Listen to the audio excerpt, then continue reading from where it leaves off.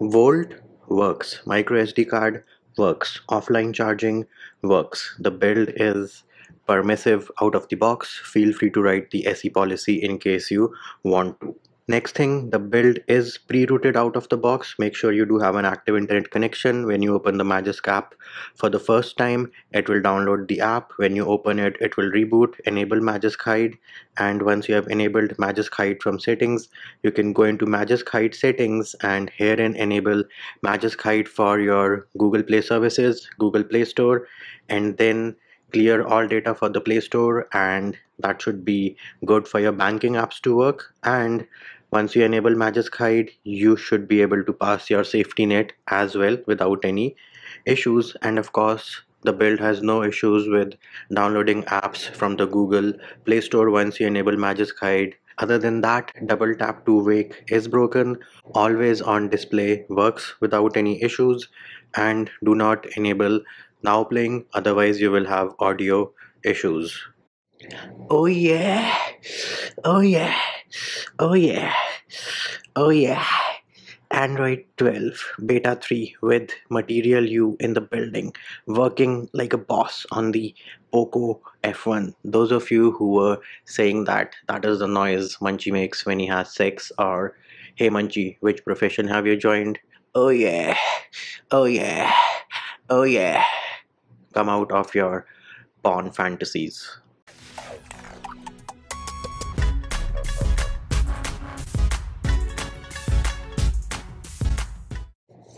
What's up? What's up? What's up? Android 12 Beta 3 by the Pro Shiva in the building. And those of you who are still left behind after that intro, I do have another pro tip for you. If you have slow charging on this specific build, go into Poco Extras and change the thermal profile to no limits. And of course, you have to read the pinned comment to get more information about all this next up this here is the build and it is running on the Poco F1 let us go into settings right away. Take a screenshot. Bam here it is. Tap on capture more and we now have the scrolling screenshot feature of Android 12 beta 3 working like a boss. Have a look at that zoomed lens and those super smooth animations because this build is smooth. If and only if you let it settle down once it settles down it is super smooth. Google feed is enabled out of the box. No jitters no lags. Have a look at that. Super smooth. Animation bam. Recents again smooth. Everything is great. Select works. Screenshot works as well. Rounded corners. Share and edit icon as well. Now why do you have this minor issue of the UI being a bit laggy when the device boots for the first time. Super important thing you need to remember is that Android 12 itself is in beta stage. So if you are expecting a perfect build out of a base which is already in beta, then you have the wrong expectation, my dear friend. Very simple answer, very easy answer. Once you get that inside your head, you will have less expectations from this build and you will complain less as well. Next up material you is present. So if i press and hold on the empty space go into wallpapers and style bam here it is. Material you again when you open the wallpapers and styles app for the first time you might have the issue wherein these options don't show. Be patient they will eventually show up. Going to change wallpaper and let us go into curated culture. You will notice that one of the wallpapers is circled. That is because that is the current wallpaper. Another new feature from google. Let us go ahead and check out this one. So you do have two options and it shows you the preview. You can move around your wallpaper if you want to and if you want the actual look tap on this bam.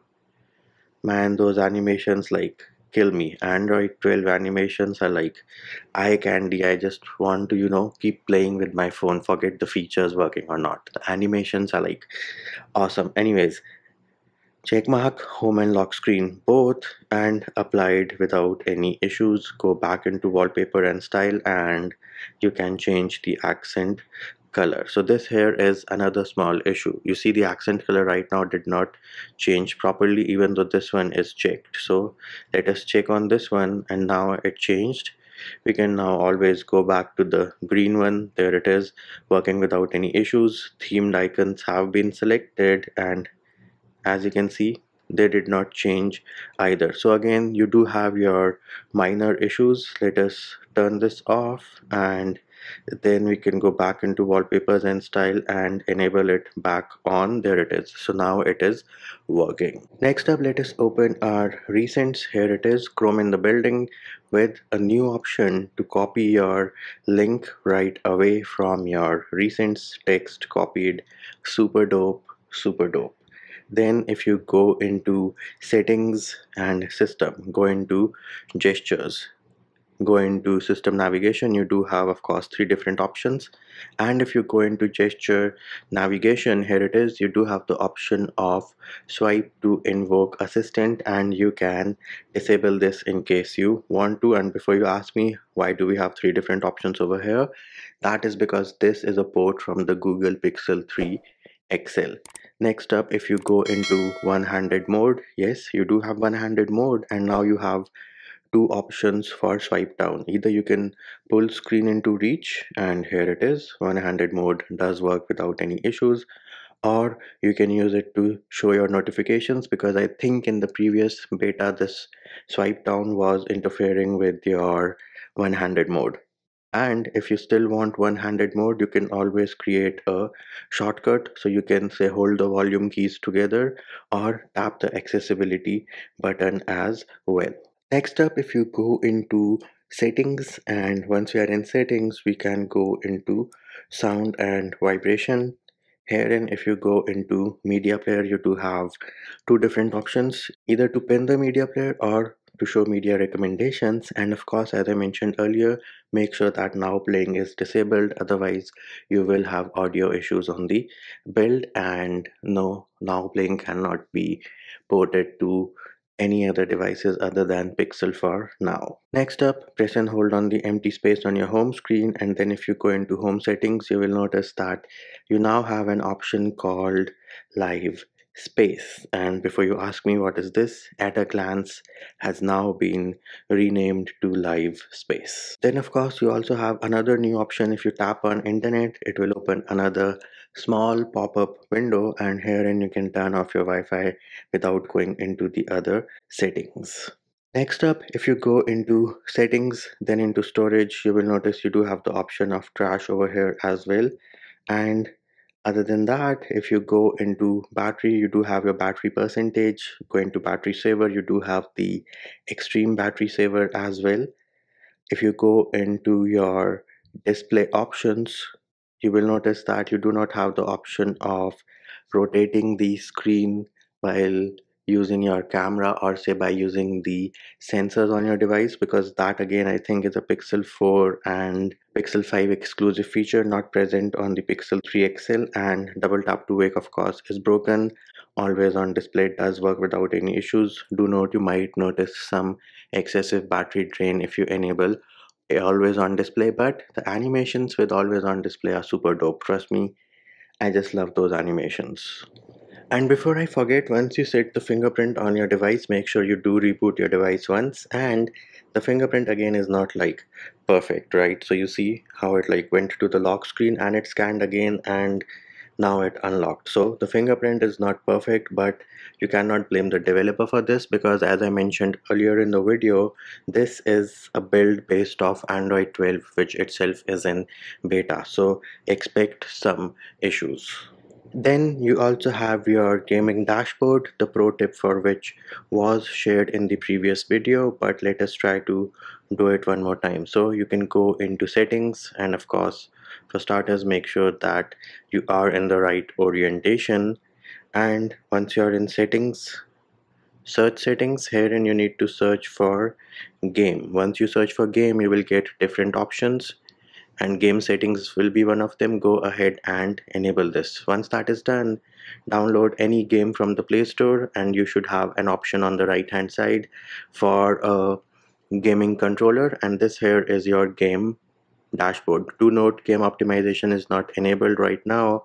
Here are the other options which you get. So you do have a floating bar kind of situation over here which can of course be moved around at will but it again attaches to the either side of the device. So you cannot have it in the middle of the screen. And this here is your option for screenshot this here at the bottom is your FPS and this here is going to open the screen recorder. So the middle option should actually open the screen recorder but I think we did have another Android 12 UI bug. And as you can see I am not seeing the option again. So let us do one thing. Let us go to our recents go back into game settings and then we can try going back to the game to see if we get the option. So now we are not getting the option. Again it is kind of finicky and very difficult to you know get it back but it does work. Then because this is a build from Shiva it is using your vendor which is based on CAF